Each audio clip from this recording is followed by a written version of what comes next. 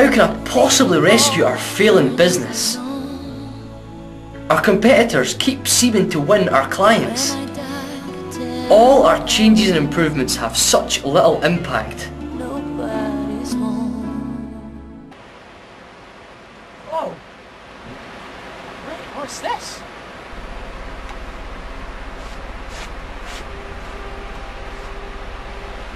Some kind of treasure chest.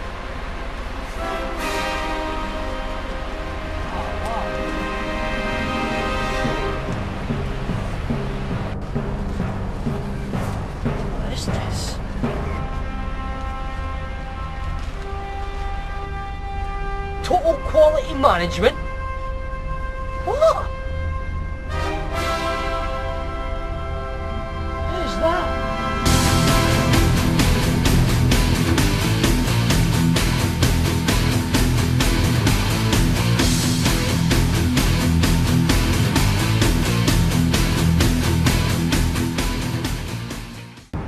Aha! I see you found my treasure chest. Who, who who are you? Ah, I'm a TQM expert. My name is Heinrich Gulvenheimer. I, I take you total quality management, just like you said in the scroll, yeah? Yeah, you'll learn quickly, my son. This will be useful for our journey. Uh, uh, our journey? Our, we are now on a journey to help your business. Our business? Who told you about our business? Who tipped you off? I just know. It's to do with the Würzburg Deutsch technique. Anyway, I am asking the questions. What seems to be the problem? The problem is we, despite making quality products, all our business keeps getting stolen by our clients. We can't make any ends meet. We keep having special offers, new designs, and nothing. Nothing works. You say quality. What do you mean by quality? What is the problem? Quality. In our business, every single box we make is quality. We pass on no defects to our customers. We screen out every single box. Not one box gets past our quality control team. We've got a special group in there. They check boxes, they inspect them, and we have quality products. It's just as I expected. You're not making quality products at all. Far from it. Let me let you a little secret called total quality management. Total quality. Tell me, what is it? This is what you'll find out. For now, we can say this is our radical management philosophy and methodology based on the continual incremental improvement of the entire processes and products. It also involves the entire team. Let me show you something. What you must do is design for quality. You must focus on defect prevention, not defect detection.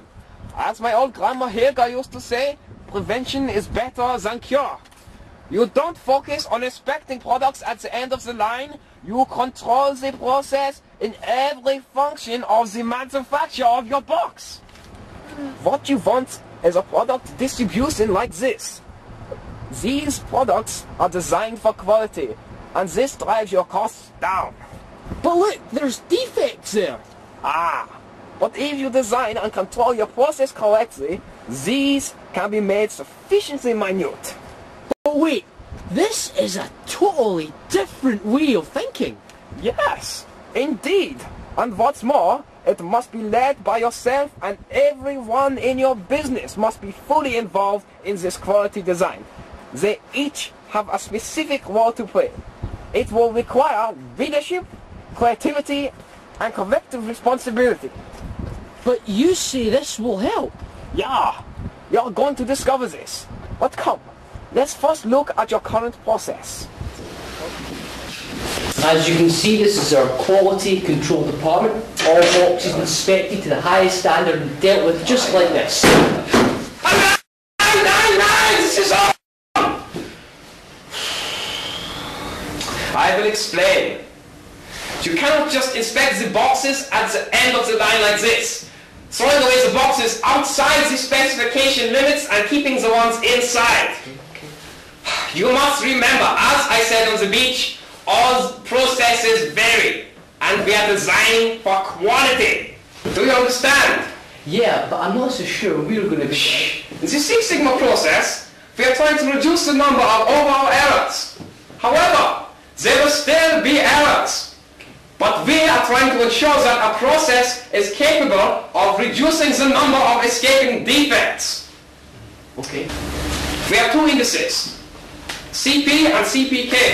CP is a measure of how capable a process is of producing the required process characteristics. CPK is a measure of how the process is actually performing and takes into account the process not hitting the target value. A high CP shows that the process is capable of reproducing the characteristics. A high CPK shows that the process is within the desired limit. One more thing. The yield can mean many things. The Poisson distribution is used to define the yield. It can be used to calculate the number of units with defects and the number of defects in a unit.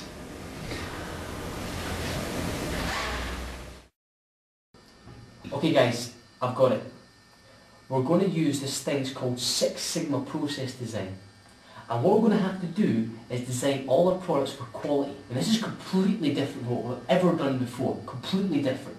We're going to have to change the entire process line. We're going to have to really work as a team and every single one of us need to be on the ball for quality. I don't see this going to make any difference. Your production line's going to get confused. You're just adding an extra hassle. You really think this is going to change anything? Our production method is there for 30 years over. Yeah. You can't change overnight. People get stuck with the, all this new kind of fast Six Sigma. What is that? And this is going to get quality goods. Quality. The companies who have implemented this, they've saved an awful lot of money. In fact, Motorola actually saved up to 17 billion dollars by implementing this. Guys, we have got to get a booster jab in teamwork. And have I got something exciting to share with all of you. I have got a trip, a management and workers day out trip to where it's warm, sunny and there's a beach.